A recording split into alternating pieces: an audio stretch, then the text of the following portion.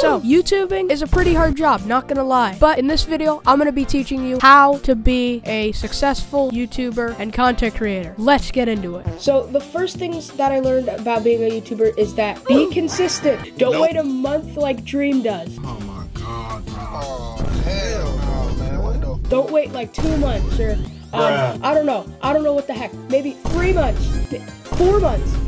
Like pick a day that you're gonna be able to upload, like once a week or maybe once a day. If you can actually do that.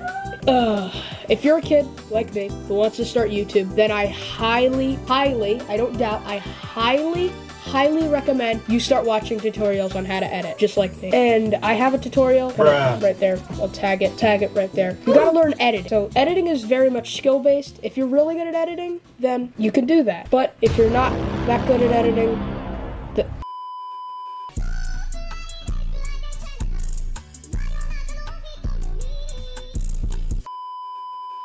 Get to the point. If you do not get to the freaking point, like, dude, a, vi- a viewer is gonna want to click off your videos. If you don't get to the point, more click offs means less watch time, and less watch time leads to, you know, no monetization. But there is one solution to subscribers that I might add create shorts. Now, if you don't create shorts, well, then you're in luck. You're, very in luck. Creating shorts is like, is only to gain subscribers. Shorts only determine your subscriber count. And you might get a little spark in views, like a thousand views or maybe 500. And you might be like, oh my god, I got